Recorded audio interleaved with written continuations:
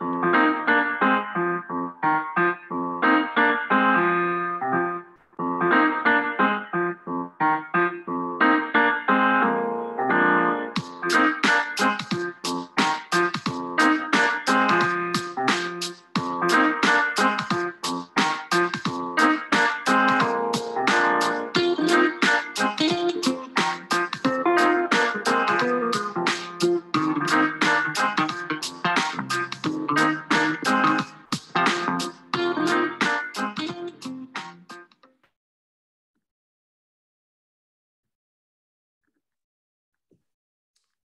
And welcome to NAEA's 13th Town Hall, Innovative Practices in Visual Arts, Design, and Media Arts.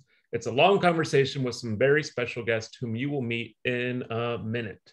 I'm Mario Rossero. I've got the great privilege and honor of being the Executive Director of the National Art Education Association, and we're so glad that you've chosen to spend some time with us for this great conversation. I always like to say I came from the visual art classroom, elementary and middle school, and worked also in uh, museum settings and central office in Chicago and Pittsburgh public schools. And so uh, really appreciate all the work you're doing and uh, every avenue where we provide arts education to all of our learners. So before we get started, I always like to take a minute to acknowledge and recognize the native lands that I'm joining you from. Uh, I live in Washington, D.C., which is home to the Piscataway. Uh, we uh, always encourage folks to um, look up uh, who might be um, in your community. So you can look at nativelands.ca uh, and you can find uh, that information for yourself. But we do this to recognize that um, not all people across time and history have had all the opportunities that they might, and we want to learn from the past and make better decisions for the future. So this is a constant work in progress, but we always like to take a moment to acknowledge um, additionally, um, given that uh, we began the town halls um, uh, during the pandemic, and now it's been about what 22 months later, we just like to send uh, our good energy and thoughts to everyone for uh, persevering and making it to this point. Um, and whatever holidays you might celebrate, hopefully the next few days this week, give everybody a chance to maybe eat a little too much and have some downtime to just rest and recover a little bit. So we appreciate you making time before all the uh, the family and friends festivities might begin. Um, please know that you can uh, choose closed captioning under live transcript. Um, and once the conversation starts, we suggest that you utilize speaker view. Also, we keep the chat nice and active, so feel free to post questions and comments in the chat. And my wonderful team, Dennis and Krista behind the scenes, will help to manage that as well as our guests will contribute. Um, as a reminder to everyone, if you've not joined us before, uh, we host these town hall conversations as a real life way to connect with uh, our art educator members and community where you are today uh, with the things that are most pressing and on your minds. Um, and so we tackle a range of issues and topics, but this is really um, the way that we live and breathe the town hall ethos is that those that register submit their questions in advance. And then your questions actually become the shape of the conversation that we'll have in a few minutes. So that's how we honor your voice uh, and, and hear from all corners of the association across the country. Um, the format, we take a long conversation format. That doesn't mean long as in three hours. Uh, it's actually a relay conversation. So we will start with a pair of individuals, for example, person A and B. So person A would be the interviewer, person B, the interviewee. They have six minutes on the clock to have a conversation. At minute five, they may hear a chime as a signal to wrap up. Uh, they'll close out, and then person A will exit. Person B becomes the interviewer. Person C comes in as the interviewee, and so on and so forth. If that makes sense, excellent. If not, don't worry about it. It's all going to work perfectly in a few minutes right in front of you. So we, we've done this a number of times. It always works out great. And you get to hear a conversation thread from multiple perspectives, which is what we're really excited about. Um, we often use every second we have for these conversations, but please, like I said, put your questions in the chat if we have time at the end. I always go through and cover anything that we didn't get to cover uh, in advance. Uh, and we have a lot of folks uh, that uh, signed up uh, earlier. And so we, we thank you again for joining. So I think with that, we're about ready to start. So I'm going to go ahead and welcome our first guest. So my uh, friend and colleague, Ekene Ijeoma, who is an artist uh, and director at MIT, has the Poetic Justice Media Lab uh, in Boston. So Ekene, thanks so much for joining us. Good to see you, my friend. Thanks for having me, Mario. Yep. Um, so I think we're just going to jump into this conversation because you know we've got lots of questions here. So um, Leslie asks, um, uh, she has an interest in public art projects that teachers are doing with students. And so she had an interest uh, in things that were focusing around climate change. Now, as an artist, I know you work in a lot of public space. Um, so I just thought you might be able to talk a little bit about some of your work uh, that might be an inspiration for our members out there. Okay, great. Thanks, Mario. Hello, Leslie. Um, Last February, I actually presented my first public artwork in New York City titled The Breathing Pavilion, and it invited Brooklynites to take a break and breathe together. Um, it was inspired by a quote from Octavia Butler's book titled um, Parable of the Sower. And I'll just share the quote, which is All that you touch, you change. All that you change changes you. The only lasting truth is change. God is change. So, in other words, uh, the breathing pavilion was an invitation to breathe with each other and the environments around us, and also through all the changes that were happening around us. Uh, Excellent. Yeah. It's a beautiful quote. Um, I think I'm going to ask my yep my colleague to pop in uh, your uh, link there to your webpage so folks can see that piece. Mm-hmm. Great. Um, and then Katie from Minnesota uh, is looking for something new. And so I've not heard of Aurasma before, but I think it's an augmented reality piece. So she was interested in augmented reality. But I just wonder if there was um, any suggestions you might have or anything that's coming out of your media lab or your peers' labs that you might be able to share with us. Thanks. Um, so hello, Katie. Um, at the Media Lab, we're working on a different type of augmented reality. That's, I guess you could say, is a play on the word augmented reality. Um, we're looking for new ways to augment our diverse future into our present reality. Um, as you may know, the US will be majority non-white by 2045. And currently there are over 1200 languages spoken in the US. So we've been developing an artwork titled A Counting that includes hundreds of languages in a never ending video that features um, locals counting from one to 100 with a different language and voice for every number. And we're doing that so we can start to hear, see, and be that diverse future. So, again, augmenting the future that's to come using our present reality. We have all these languages here, we just don't hear them. Excellent. Um, can you tell me a little bit um, just for context, and I want to come back to that project in a second, but for context, like how many folks are in your lab? Like, how does that work exactly?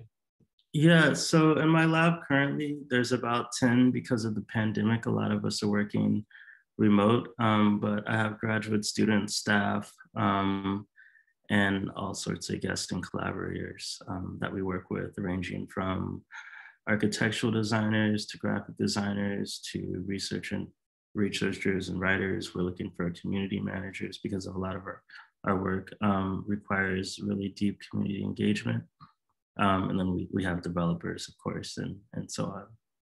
And, and do folks bring their own ideas and projects or, or do you come to consensus for what you might focus on? I'm just curious what that process might look like. Yeah, a lot of the works are coming from uh, like larger conversations. Um, such as A Counting, that started from thinking about the US Census in um, 2020 and thinking about how um, the linguistic and ethnic diversity was uh, misrepresented and um, miscounted in the, the pre, just historically in the census and thinking about how we could count to 100, which is, which is a statistical whole using as many voices as possible. Um, and that was something that we came to together. Um, but of course, everyone had these different ideas, and I narrowed it down to something that I felt was like legible. Um, right. But then that project actually in, in inspired all the other voice based projects uh, we've been creating. And uh, can folks listen or view some of that work currently, or is it under? Or is it yeah. So um, we can share uh, accounting dash sorry a dash accounting.us is the website. It's just a dash accounting.us, and you can uh, listen to the ongoing count of people and uh, we over now have over 130 languages so wow yeah and it's ongoing it would take months to watch yeah. it um yeah. it's different every time and yeah yeah very very cool. Thank you for uh explaining that a little bit more. And then uh, marlon massachusetts asks a big question and, and truly a big question. So why are innovative practices in art and design needed? Um, so in poetic justice, I think we all believe in general that it's needed. And just doubling down on my previous comment is that we need art to keep creating new possibilities and routes towards an anti-racist and pluralistic future that's to come. So I think the more that we can show people that it's happening now already, that the more when it comes in a different form that we'll all just be in like uh, together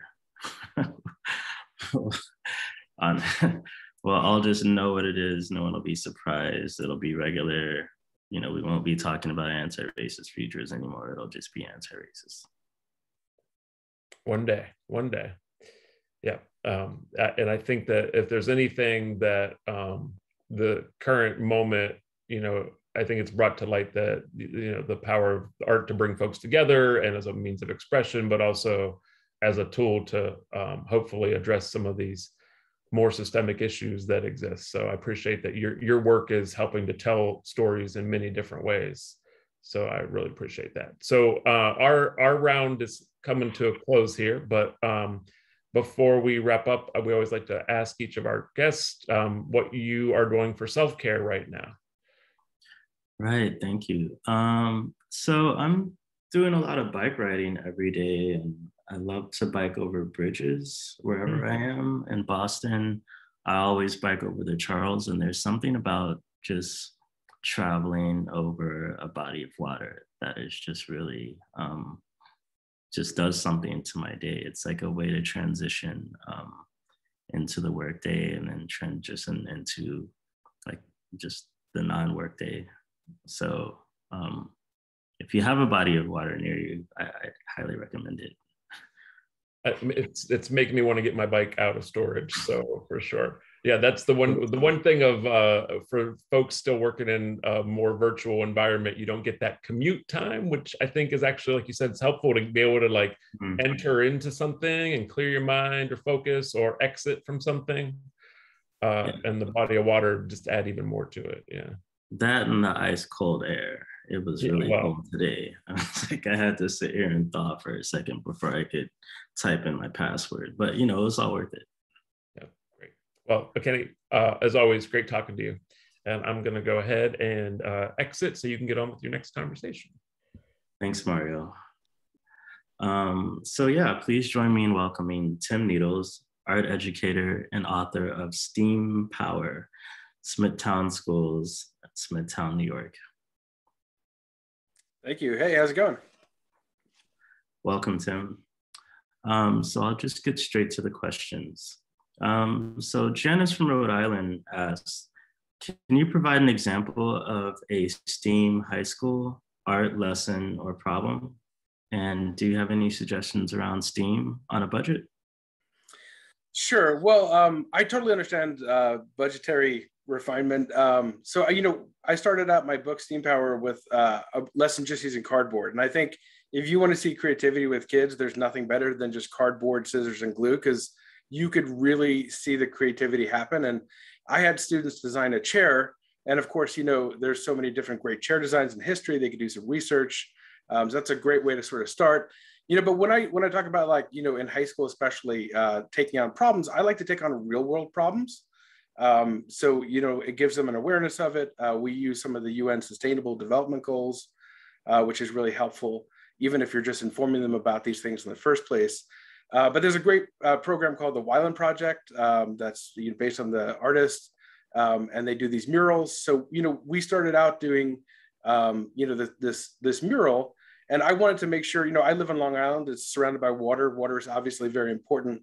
Um, so we looked at keeping the water clean and you know how it affected the animals, and I collaborated with the science classes um, to make sure that we were actually studying you know the animals and you know so they were dealing with some of the science and teaching the art students, and the art students were teaching them some of the design and painting. So we started with uh, murals, and uh, we worked with National Geographic a little bit, um, and then we actually it, it, kept growing. That's one of the great things about a, a, a nice collaboration. So we actually started uh, going further, and we said like, how can we really make a difference? So we started beach cleanups, um, and uh, the students, you know, brought down their sketchbooks, and then we started doing uh, smaller storm drain murals. So we worked with the town and the EPA, and we looked at all of, you know, making sure the environmental paint was correct. Um, so we've been doing these, and uh, there'll be a link shared from one of the recent ones we just did. We're using the same paint that they would use to draw the lines on the road. Um, you know, and it's a project that continues, um, and it makes an impact in the community, which is great, uh, and it informs everyone about the water being clean because it goes right into our drinking water. Wow, thank you. That's great. I have so many questions about that. But Kelly from Ohio has a question too. So, um, what are some of the innovations you have implemented in the last couple of years that you will most likely continue to use? That's really interesting. The pandemic was really difficult. You know, it like felt like a failure as a teacher at first when we went online, just because you can't connect to students the same way. And I was looking at all these initials on the screen, and it's like, I got to get these kids, you know, like doing something engaging so you know it gave me license to kind of throw out grades and not worry about all of those things we just focus on social emotional learning and creativity so you know we did the getty challenge first um, and that really kind of like led the the path for me so you know i worked with the students and we all did the getty challenge all of the art teachers all of the students and you saw like these really creative results if you don't know the getty challenge they asked you to remake a famous work of art with just three things from around the house um, and you know, I, I, actually did a TED talk on uh, creativity, and I shared a bunch of the student examples. Um, and it, it it allowed students that didn't see that they were creative to understand their own creativity in a new way. Um, and then I just started making my own creative challenges. So I did one, um, you know, uh, for augmented reality, and I did one for self portraits. Uh, and then I asked the students, like, you know, to actually start creating the challenges, and they were making them. One of my favorites was the untraditional selfie project. So I asked the kids to uh, create a selfie at home without using any art materials. Um, and, you know, even students that weren't necessarily art students, you know, they were taking studio art because they had to, came up with these really creative results. They were using Cheetos, they were using nature, makeup, uh, and it was really fun. And it really allowed, uh, you know, me to really focus on creativity in a meaningful way uh, which I would have never done. So I'm definitely going to keep these creative challenges. And there's a bunch on my YouTube that you're free to use too. Wow, those all sound great. I'm gonna have to start working with Cheetos myself. yeah. um, and last question is from Nicole in New Jersey. Um, Nicole is interested in projects that increase technical skills, but also incorporate social emotional learning, as you mentioned. Uh, do you have any su suggestions? Yeah, you know, I think it's more important than ever social emotional learning, and um, you know, I try to work it into everything. Uh, there's a project that I started doing a couple years ago called the Gratitude Project, uh, where I just focused on gratitude. So this was something that you know, gratitude helped you focus on the things that are important to you and get your mind away from some of the negative thoughts.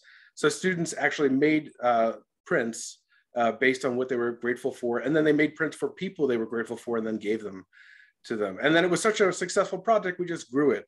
You know, it spread to the school, and then we started going to the senior homes and working with those people. Um, and it was just great.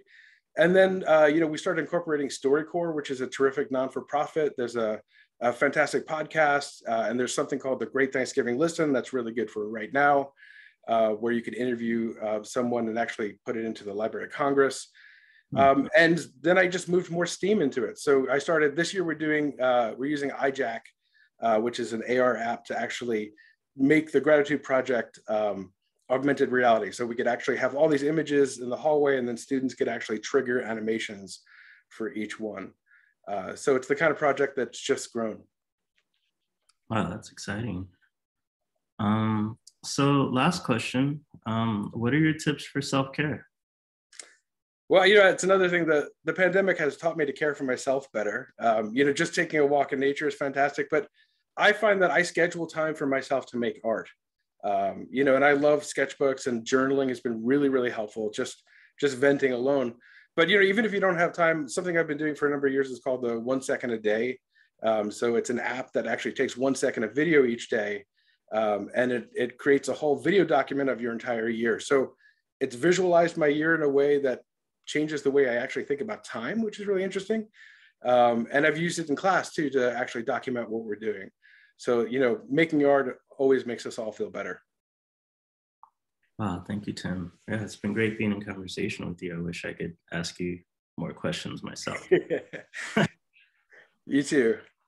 Thanks so much.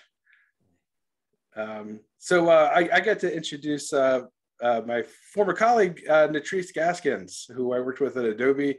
Um, and I know Nettrice is really creative and amazing. So she is uh, the assistant director of Lesley STEAM Learning Lab uh, at Lesley University uh, in Cambridge, Massachusetts. Um, and she has a new book, Techno Vernacular Creativity and Innovation.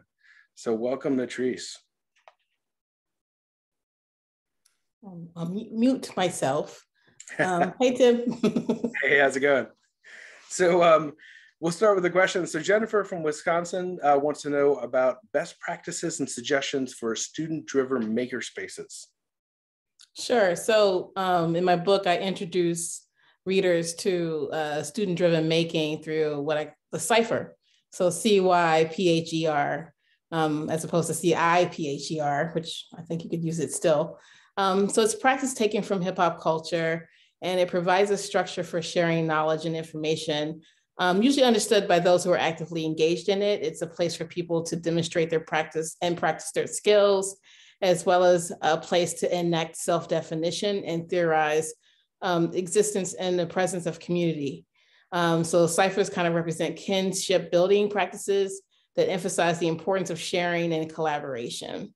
So teachers can use the cipher to set group protocols and interactions that amplify students' knowledge and expertise. So um, I um, use ciphers as a daily check-in and share outs um, with design and concept mapping and collaborative peer reviews. So for example, we use ciphers in, in the design of a dual enrollment summer course last summer that merged art, artificial intelligence, and robotics for high school students. Um, so we started the day in a cipher, we ended the day, and many activities throughout the day were in that kind of format. Um, so um, it always places the student in the center, in the round, and their voices being important in that process. That's really cool. I love how you use it as a check-in.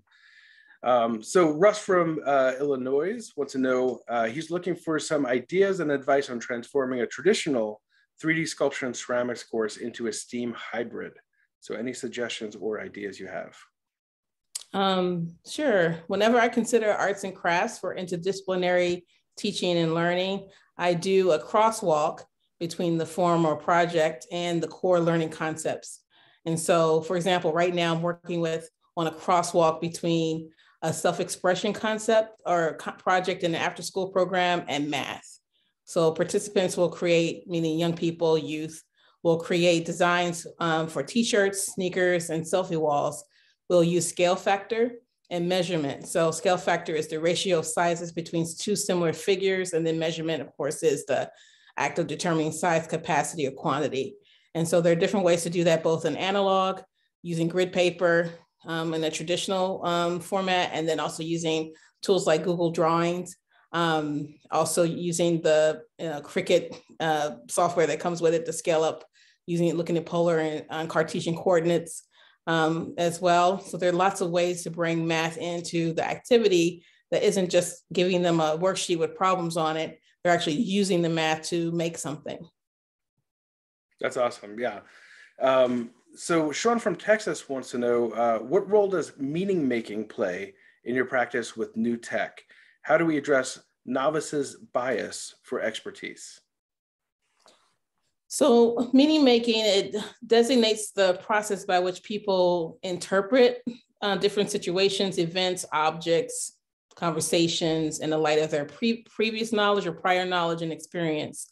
So when we think of learning as meaning making, it emphasizes the fact that in any situation of learning, people are actively engaged in making sense of the situation.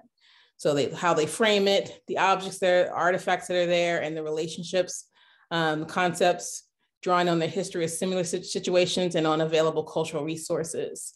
So when I talked about concept mapping, you do, you do that as a design thinking practice so that they're mapping what they know with what they don't know.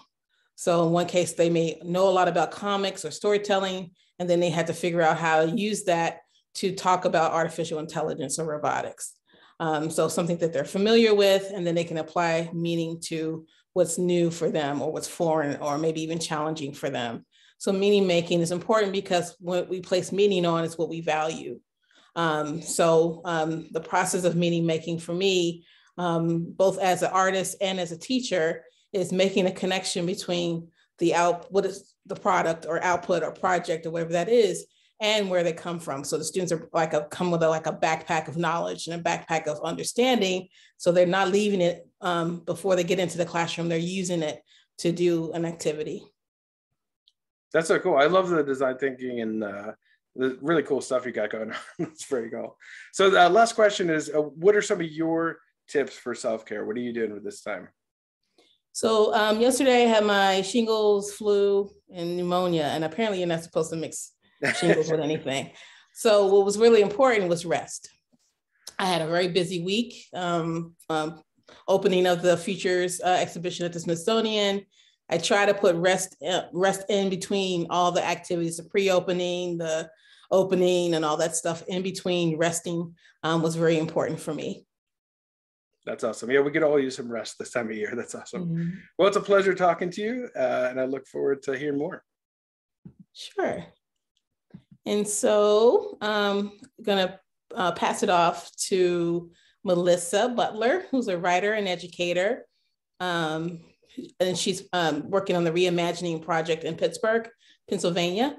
Um, hi, Melissa, and thank you, Tim, and good to see you. Um, hi, Natri. so we have some questions. So go ahead. I just loved, uh, I've loved the conversation so far. And mm-hmm. yeah. So I have some questions for you.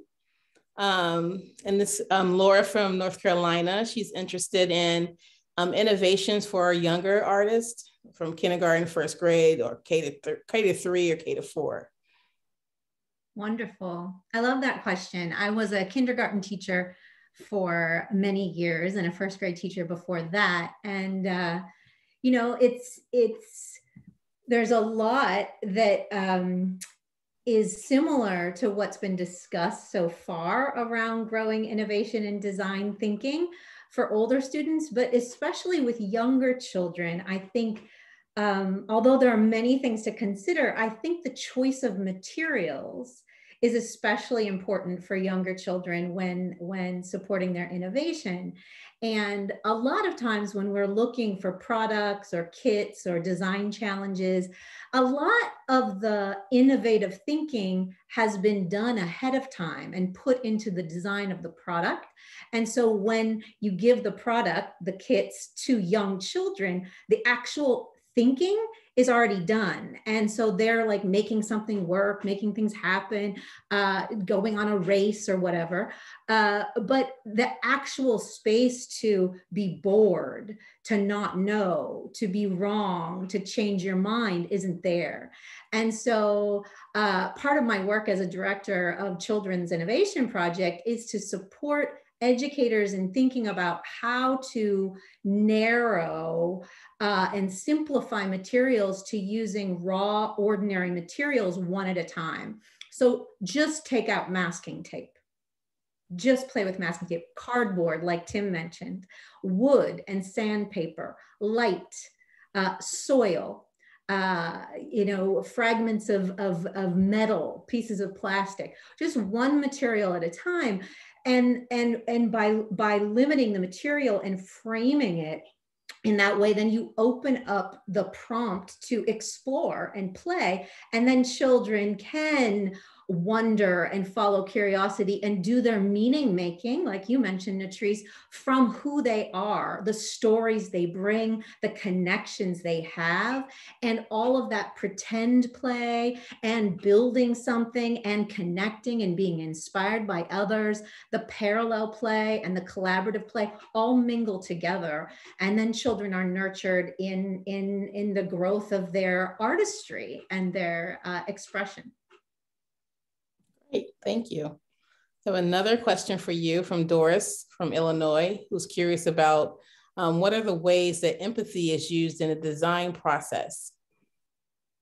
Yeah, I love that question. Um, and it's a big question. And one of the things that I was thinking is that at the, you know, at the heart of empathy is the practice and ability, although it's never we don't we don't succeed at empathy and then we're done. We're always uh, growing in that in that area. But at the heart of it is to see one's own seeing and to be deeply deeply curious about how other people see things and understand things. And the more uh, flexible we can be in uh, our own ways of seeing, then the more we can be comfortable in uncertainty and start to unravel our identities uh, like held so fixed in one way of knowing. So I think about the example that Tim brought up about cardboard.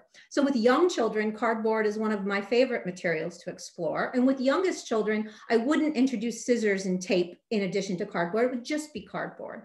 And when uh, when educators are planning lessons, it's not so much about designing a challenge with the cardboard or asking children to make something with the cardboard. It's simply to put out the cardboard and to say, let's play, let's explore. The teacher's role is to notice what's going on and to ask questions. What do you see? Oh, Maya, do you see what, what she's saying? How could you add to that? right? Oh, how could you see it differently? How could you unsee this? Oh, you think that's a boat? What else might it be?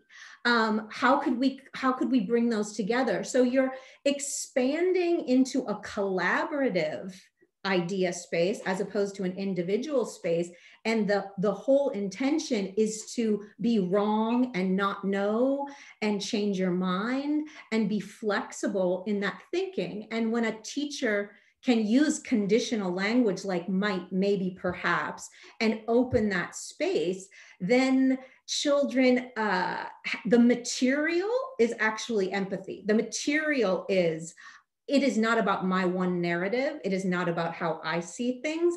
It is, it is always being negotiated in collaboration with others.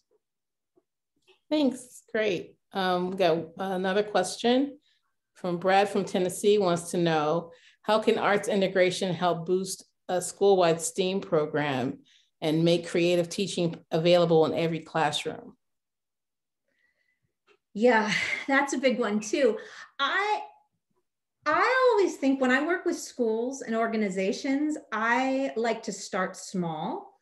And I think that a lot of times when you're bringing educators from various disciplines together and you want them to grow in artistic practice. You want to integrate and, and, and grow interdisciplinary, transdisciplinary thinking. We often jump right to what teachers are going to do in their classroom.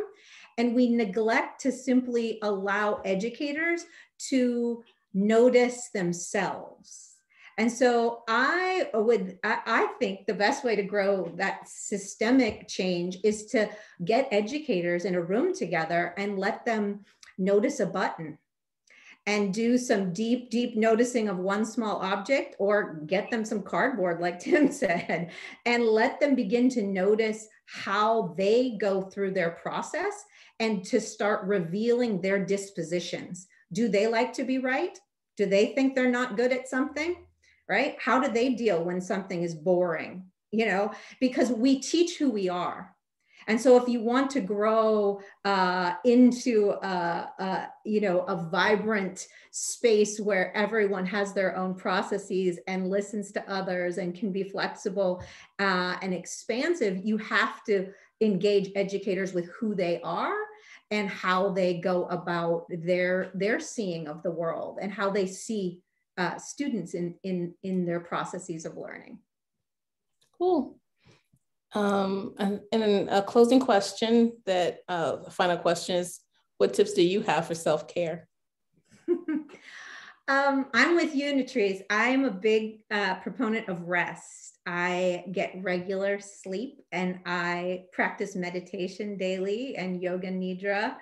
Um, I believe that rest is not a luxury; it is for everyone, and uh, and it's extremely important.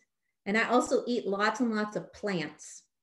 I believe that that uh, plants have lots to teach us and are are good for our bodies. Very cool. Thank you. I want to talk with you more about meaning making. Mm-hmm. Mm-hmm. And I'm passing uh, you the baton too. Yes. All right. Now I'm going to call Mario back. Hey, Melissa. Hey, this has been a great conversation. Hey. Uh, it sure has, and I I'm realizing we're we're moving at a pretty good pace. So while we talk, I'm just going to encourage if any of our other guests have questions for each other, we'll have a few minutes that we have time for some extra questions. So I have some ready to go, but I'm just going to plant that seed in case you want to ask each other some questions after you and I wrap. Oh, good. I think we all might. Yeah. Um, I've been noticing you with your pen and taking notes as you've been listening. So I'm wondering what kinds of trends and takeaways you're you're noticing from the conversation. Yeah, I've got at least two pages. Mm-hmm. Um, you you four are very quotable, and I think we could probably make this an even longer town hall. But my trends and takeaways, uh, I love this uh, kind of your whole crossing bridges and crossing water it was mm-hmm. so beautiful. Um, m- moving to an anti-racist future through art. I'm paraphrasing there, but really powerful concepts. Uh, community impact. Uh, Tim, your creative challenges. Cheetos and makeup is going to stick in my brain for a long time. I tried to make it Fritos, but I'm sure you said Cheetos. I think Ekene and I are going to do a collaboration on that. Um, focusing on gratitude. Uh, making art makes us feel better. Um, Nettrice, your your work with the cipher and then placing students at the center is just so beautiful.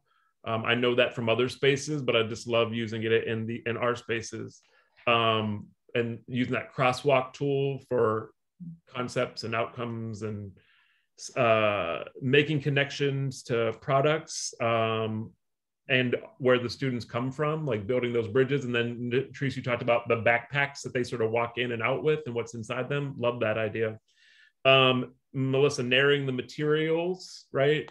Um, and then framing them, and then this ability to ex- creating space for exploration and play was really strong. Um, being flexible in our own ways of seeing. Um, and then uh, you said this piece around we teach who we are, and I thought that's so powerful. And when I know when I reflect back on my own teaching practice, I thought I was a pretty awesome teacher, but there were so many things that I didn't know that were limited by my own experiences. And so uh, just though, I mean, that's just two pages of quick notes, but some really powerful ideas coming out of the four of you. Mm. Thank you. It's always powerful to hear things mirrored back um, and connected.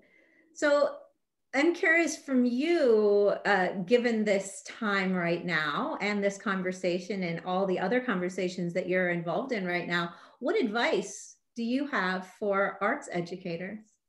Yeah, I'll say the thing that I always say because I really firmly believe this, which is um, as art educators, like don't put yourself last. It's not selfish to put yourself first sometimes, and that really comes back to this self care piece because I think we are so often taking care of our community of learners and our peers and the broader community outside of school, and that has to start with us sometimes and make sure our glass is also full. So I always like to say that the other thing that I'm inspired from this conversation that I might push on for our colleagues um, is that I'm I'm sort of walking away with a sense of, oh, in this innovative space, I, there's work with others. So I'm going to just say maybe there's something about pushing for collaboration, pushing for working with others, pushing for borrowing ideas, pushing for like figuring out how I'm in a space with others in a maybe a different way. So that might be some advice to be thinking about as we're I can't believe we're kind of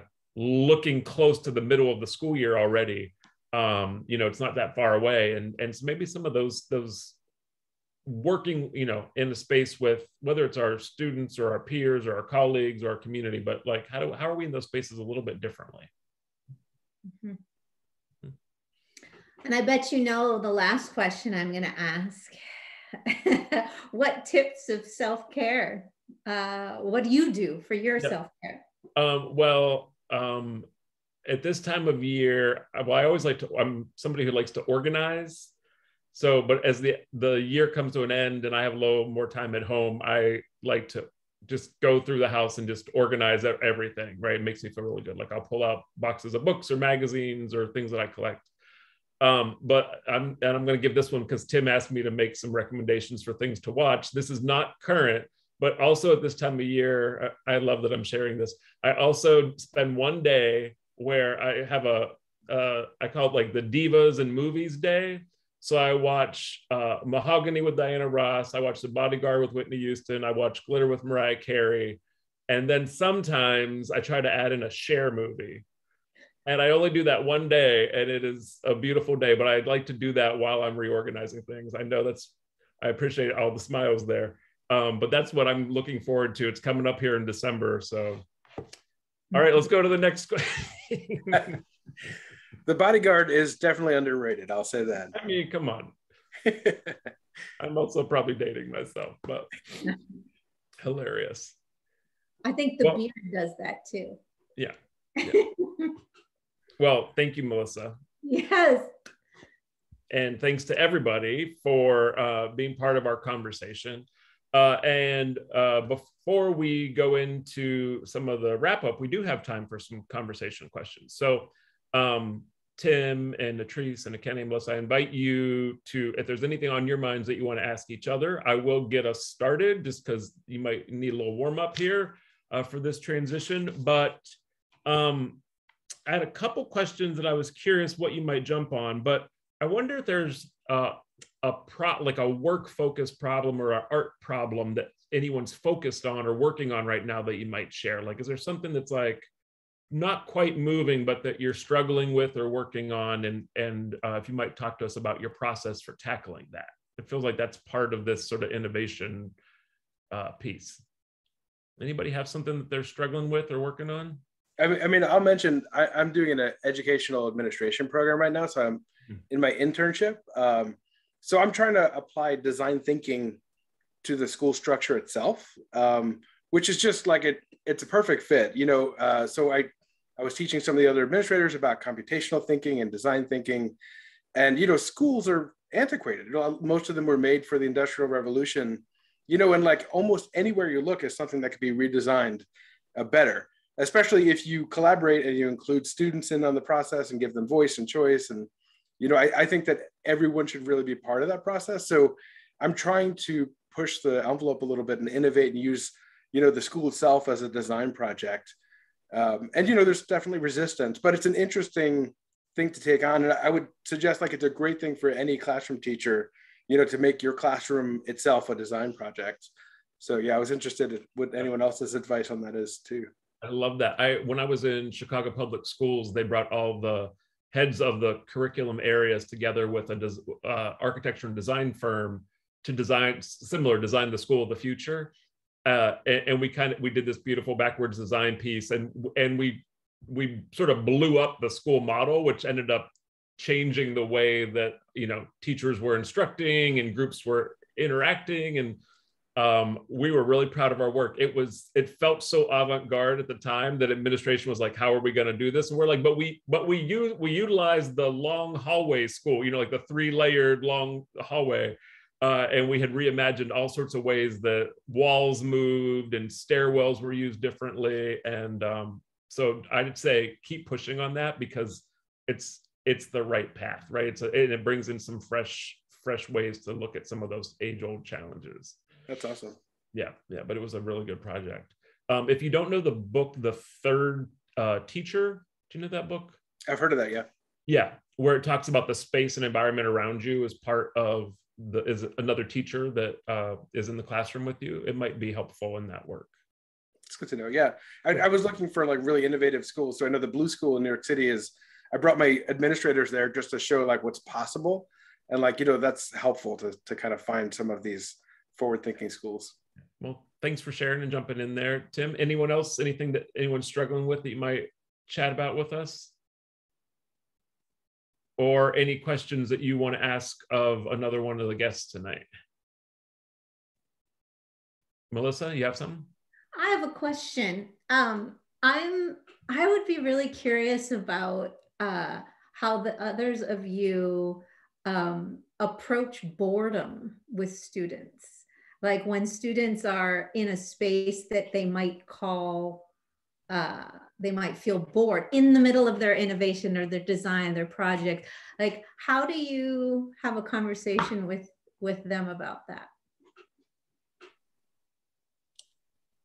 And we can also activate the chat if anyone wants to throw in their approaches for that, because I think we'd love to hear from everybody. I mean, I'll, I'll share just that I actually embrace boredom. I mean, like I don't get bored that often because I'm, you know, always trying to engage with students. But um, I think you need time to take things in in order to actually put anything out.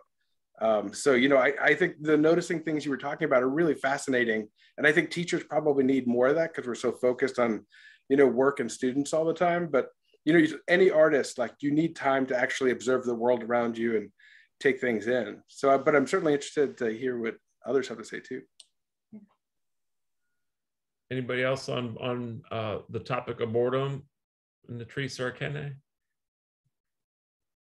Oh, so uh, yeah, I see a few things popping up in the chat. So uh, Yvette asks uh, students to describe what boredom feels and looks like. That's a that's a great uh, first step there. Ekene, it looks like you popped up here.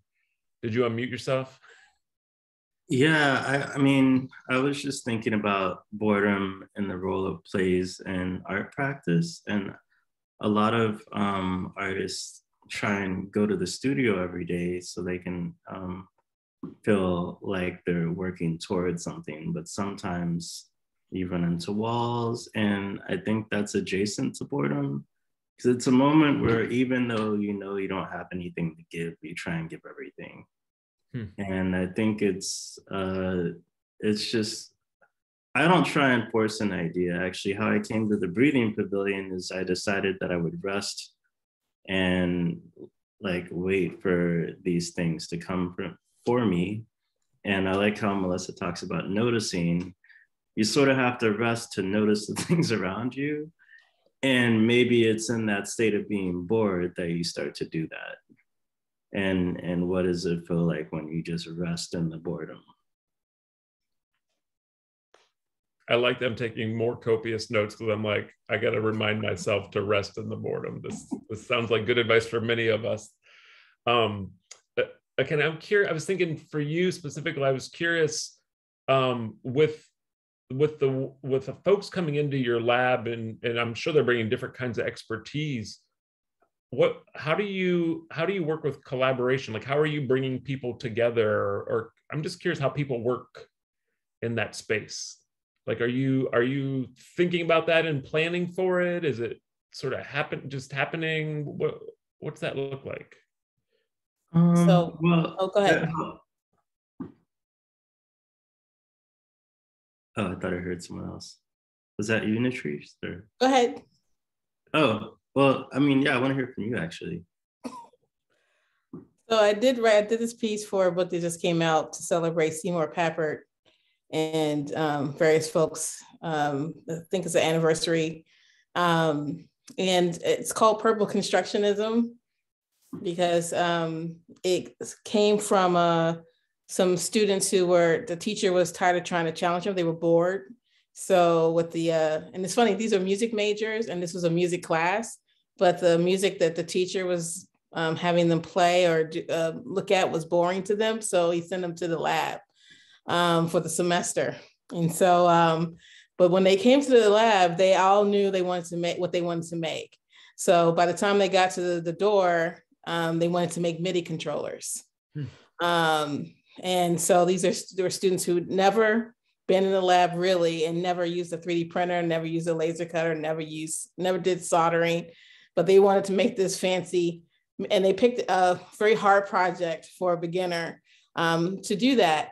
But I, it was Prince that um, was the the, the glue for the, uh, uh, for the activity for the project because I was playing Prince had just died and I was playing a lot of Prince and they're music majors and they're like, yeah, we heard all this stuff before. Play us something that we haven't heard. So um, I played uh, the time. Um, so Prince actually composed um, 777 So um, they liked it so much they wanted me to play it on repeat. So um, it put them in a kind of a state of flow. So just hearing it over and over again, the music's blasting, they're soldering, um, you know, electronics. And uh, I could hear the students in the hallway in between uh, these sessions talking about there's a song. Um, it's really cool and it's numbers, it's telephone number, whatever. And really, um, but Prince was really innovative in the creation of that song. So it just so happened he was using a musical interface and in an innovative way. And here they were making their own musical interfaces. So it was a really good tie into um, but it took a kind of like tapping into what young people were interested in, tapping, oh, and also being willing to put my own stuff out there and say, hey, I think this, you yeah. think this song is cool. Yeah. Um, and then so, yeah, it's so cool. You got to play it over and over again. And um, it led to other sharing between, you know, the kind of expert in the lab and the students. And, you know, it was always something happening, always something, a uh, challenge that kept them going and no longer bored the way they were in their music class. I love that. And I like the blurring of the lines, right? Like finding that connection between yourself and the students is so awesome and powerful. But also, uh, especially Prince can, I mean, just create and transform the environment, right? Um, yeah, it could be Prince, it could be David Bowie. I mean, we had that moment with another student. So it just depends. It depends on the, it's very dynamic. I have a lot of musical interests. That's awesome. That when I, I know when I was in grad school in a printmaking studio, the only CD in the whole room uh, was a Hall & Oates CD, which you know Hall & Oates I, I love, but you know it wasn't what we would pick every day. But when Private Eyes came on, everybody would do the double clap at the same time. Like we'd all be printmaking, and then when it was double clap time, everyone would stop, double clap, and then go back to work. So it can be really transformative. Um, uh, we're I'm noticing we're probably in our last. If anyone else has any other question or comment they wanted to ask each other before I move into wrap up time. Uh, Ekene, I was uh, kind of picking on you for collab, how you uh, foster collaboration in your studio. So I like that Nettrice uh, mentioned that these students came to the lab with the project. And I think that's the difficult part is that in this space, people come there with the project and really you're i mean i think you're supposed to come to a new space to learn something different. And in a lot of ways i want them to come with nothing. Like just come and be see what's around you and then what comes from that is where things should go. But a lot of people come with something that they want to do and then um, it's difficult to manage expectations because you really have to get somewhere and see what it's like first right like you don't go to another, I don't know, when you go travel, maybe I, actually the example I use is like, I, I think is with restaurants, right? You may go to a restaurant, you know, you go to a diner, diner has like a million things on a menu, but it's probably true that they only make a few good things. So maybe if you go to that diner, you're like, oh, I want, I want some, you know, spaghetti, but they only really make good cheeseburgers so I don't know if that makes any sense. But it's like you had to get to the diner first, see like what's on, you know, everyone's plate, maybe like, you know, notice some things and be like, oh, actually, you know, I don't see anyone eating spaghetti, and there's probably a reason for that. So, you know, I don't see anyone else making MIDI controllers that aren't playing Prince. Like, what else is everyone doing? Like, you know, so that's awesome. I also love the number of food references that we have in this conversation tonight. It's dinner time. Yeah, exactly. Um, well, I'm sad that we are just about out of time. I have a few things I want to share with everyone that's joined us, but um, before I do that, I just want to uh, give a big shout out and thank you, Ekene and Tim and Nettrice and Melissa. Thank you so much for joining us and sharing your expertise and your passion for this work. And we shared so many links and the chat was so active. So I know folks are leaving with a lot of great ideas and connections and some new discoveries. So we really appreciate you. I want to acknowledge and thank uh, all of our uh, any board members that were able to join with us. I want to thank Krista and Dennis for always being behind the scenes and helping to make this happen, as well as the rest of my team. And as we close out, I'm going to pull up a few slides. And we'll just ask everyone to stay on for a few minutes while we wrap up. So um, we always like to give you an immediate tool. So our guests were kind enough to provide some additional insight in advance. So this uh, beautiful handout you can download immediately at the website or just scan this QR code. Uh, and it talks about innovative practices all the way down to self-care. So some ideas that you heard, but also some other ones that you might not have heard yet tonight. So please download that. But our town hall page has all of our, um, I think there's 13 of them now. Um, please consider uh, if this community tonight felt good, if you felt like you were understood and heard and embraced, but you also maybe were pushed and got some other ideas and, and felt some kinship, please, you know, consider being a member of NAEA. Uh, this is really a community that supports one another, and we're really here for our educators. We're fighting the good fight, and we're making sure that all young people have the arts in their lives. So, a lot of benefits that you can see here. But if you enjoyed this community tonight, please consider enjoying it all the time. And we are really thrilled that we'll be uh, returning to in person convention in New York in early March of 2022. Uh, but this is what I call the Choose Your Own Adventure convention. You can choose live in person in New York, you can choose hybrid, or you can choose virtual. So it's the best of all worlds. Um, and we have really a rock star lineup, uh, not only of our great and awesome member sessions, but some really powerful keynotes and artists and guests that'll be joining us that will be announced shortly. So please consider joining us. Um, our National Art Honor Society, we're so thrilled that we can support um, our young people in schools that are valuing the arts in service to their community. And so please consider starting a junior art honor society or an honor society chapter at your school. Uh, just need to be a member to register as a sponsor and then sign your kids up.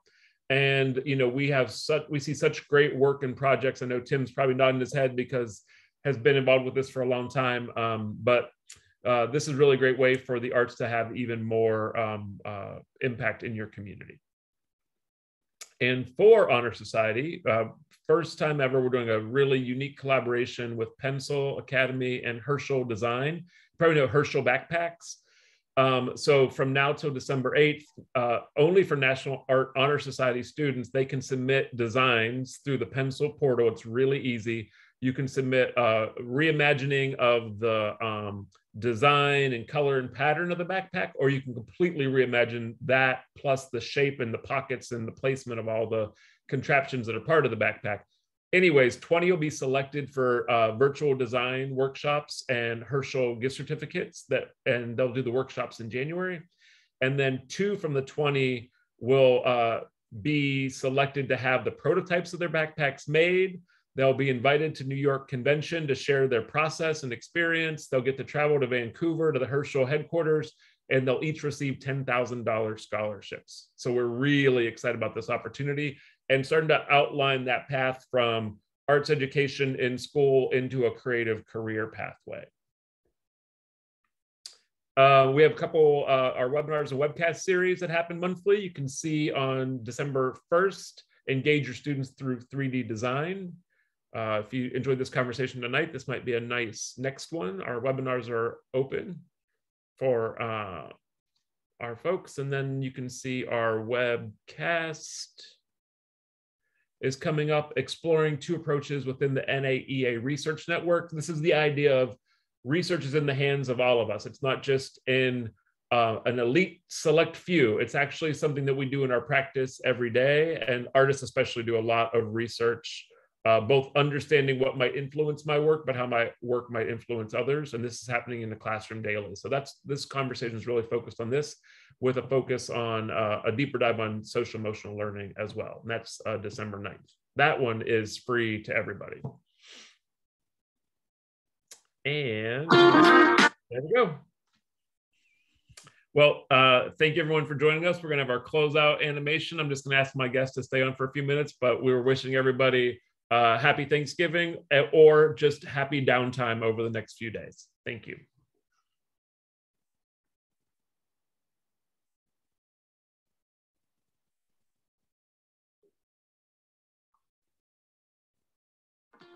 Thank you.